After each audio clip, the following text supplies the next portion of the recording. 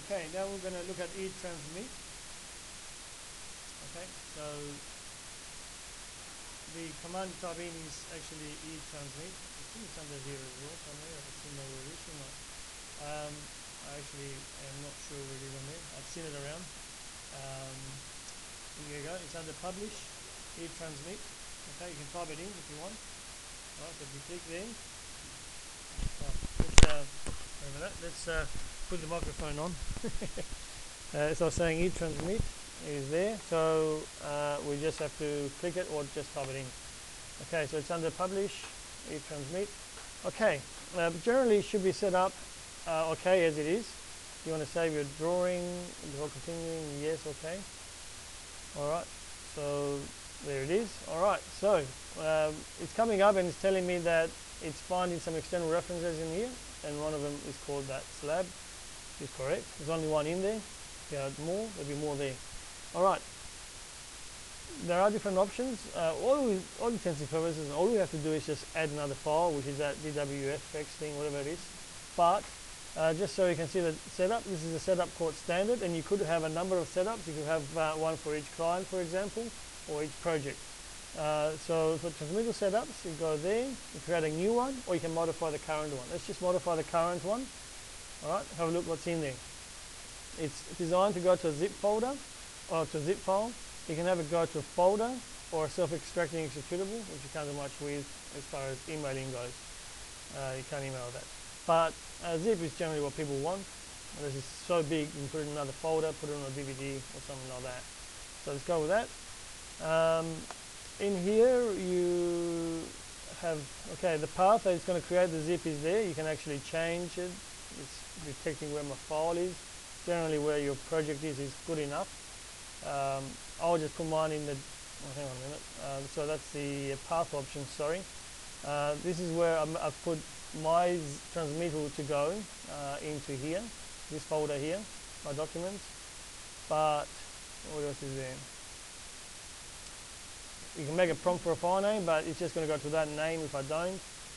Now use organized folder structure so that here, uh, if I click that there, it'll go into wherever this is.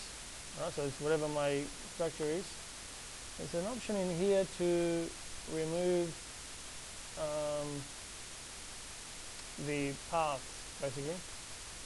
Okay, so input texture materials, data links, uh, where is that? Uh, keep all files in one folder. Um, that's not that it, not password. Here, here you can also, at the same time, you can also bind it.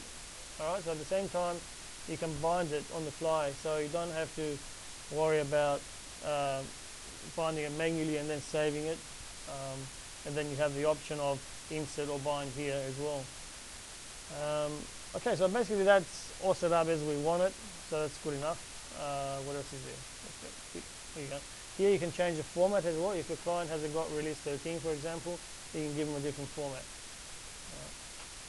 What else? That's about it. So just basically looking around and just checking all these options. So I'll just cancel. I haven't really changed anything here. Uh, so that's it. So now I'll close this and I'll add one more file which is what you're required to do by your project here alright and and you can enter additional notes for the package. You might want to send some information to, to, to the people. And then we can go add file and go to there. And that's the Andreas one I want to put in. Open. That adds it down there under other files. And we'll go okay. And off it goes to here. Oh supposed to um, Let's do it, I thought. Okay, so I'll just save that. So it's just putting everything together. If I go to here, there is the new one that was done today, that file there, and there's the files that are in there. It has a TXT file, which I might be able to open, and just gives them some basic information of what what files have been excluded that may be required and what files have been included and where to put them and that sort of thing. So that's what goes to your client basically, uh, and that's the e-transmit. Very quick, but it's a good way of making sure you picked up all the files. This is a very simple job, and you remember three files, not not too much of an issue. But when it becomes so big, they've got lots, so many extras in there, and images on top of that as well, uh, and custom fonts and all that sort of stuff. It's best to read, transmit, make sure you get everything. Uh, the other thing is custom plot uh, styles, all that sort of stuff will go in there uh, for your client or customer or whatever. So that's that's that. Uh, we'll just close that, minimize that, and